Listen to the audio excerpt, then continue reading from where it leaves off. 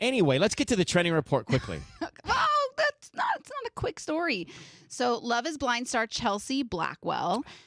She we said she's getting roasted on the internet for saying that she looks like Megan Fox. And so they were basically in the pods and she was talking to this guy and she said, Is there a celebrity that you get told you look like? And he said, No. Is there somebody that you get told you look like?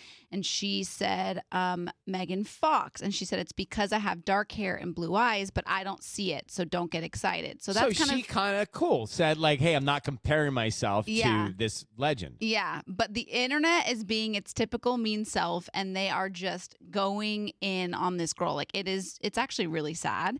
But my problem with it is that it's defeating the entire purpose of the experiment because there have been contestants in the past with like men who try to finagle like physical attributes out of like questions and they're very like frowned upon. You're not supposed to ask questions about their physical appearance because that's the whole thing. Your love is blind.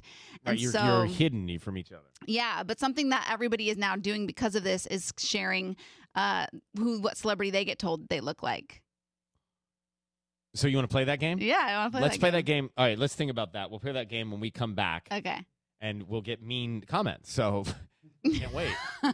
um, so Tanya did this trending report about a contestant that said they looked like Megan Fox in Love Is Blind, where you can't see the contestants, which is the premise of the show. So it's caused a little uproar, and then people got mean with comments saying you don't look like Megan Fox. Right. Uh, she does have the eyebrows and the eyes. If you hone in, you go really in on that, and she does have that. So I see it too. She said herself, "I don't see it, so don't think I'm being like flashy about it." Yeah, that should have been she the end humbly of it. She humbly said that. Um, okay, so Tanya, what celebrity do you look like? So I get told that I look like Jennifer Morrison from Once Upon a Time. Okay, is mm, um, I'm gonna have to Google that. I didn't know her. I didn't really know her either, but that's like a lot of time when I post stuff on Instagram, people say you look a lot like the girl from Once Upon a Time. Sisanie, I have never been told that I look like a celebrity. Hmm. I really No. haven't.